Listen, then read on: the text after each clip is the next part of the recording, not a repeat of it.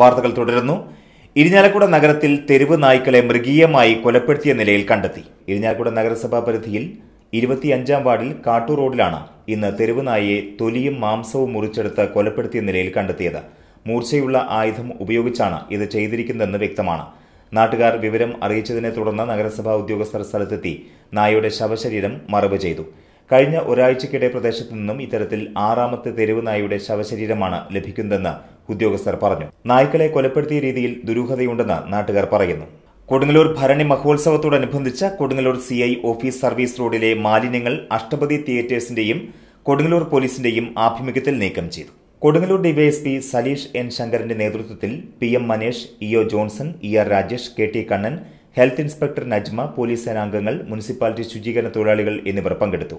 കാവനൂരിലെ പെൺകുട്ടിക്ക് നീതി ഉറപ്പാക്കുക പെൺകുട്ടിയുടെയും കുടുംബത്തിന്റെയും സാക്ഷികളുടെയും സുരക്ഷിതത്വം ഉറപ്പാക്കുക പ്രതിക്കെതിരെ ശക്തമായ നടപടി സ്വീകരിക്കുക എന്നീ ആവശ്യങ്ങൾ ഉന്നയിച്ച ബി ജെ പി നാട്ടിക മണ്ഡലം കമ്മിറ്റിയുടെ നേതൃത്വത്തിൽ തൃപ്പയാറിൽ ജനകീയ ധർണ നടത്തി. മഹിളാ മോർച്ച സംസ്ഥാന പ്രസിഡന്റ് അഡ്വക്കേറ്റ് നിവേദിത ധർണ ഉദ്ഘാടനം ചെയ്തു.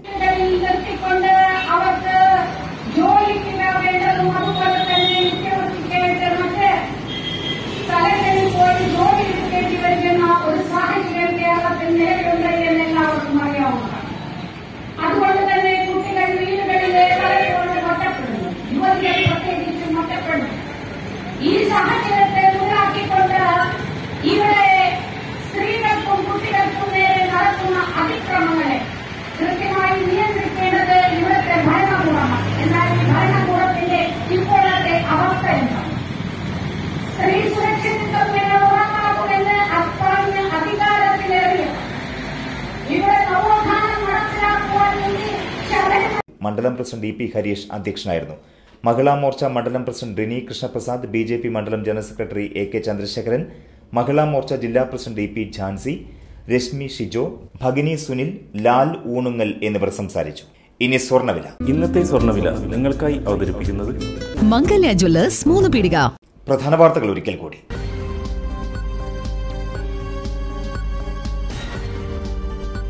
എറിയാട് യുവതി വെട്ടേറ്റ് മരിച്ച സംഭവത്തിൽ അന്വേഷണം ഊർജിതമാക്കി പോലീസ്.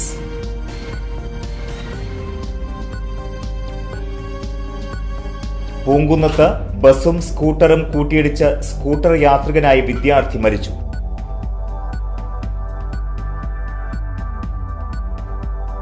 വടനപ്പള്ളിയിൽ കാറും ലോറിയും കൂട്ടിയിടിച്ച് മൂന്ന് പേർക്ക് പരിക്ക്.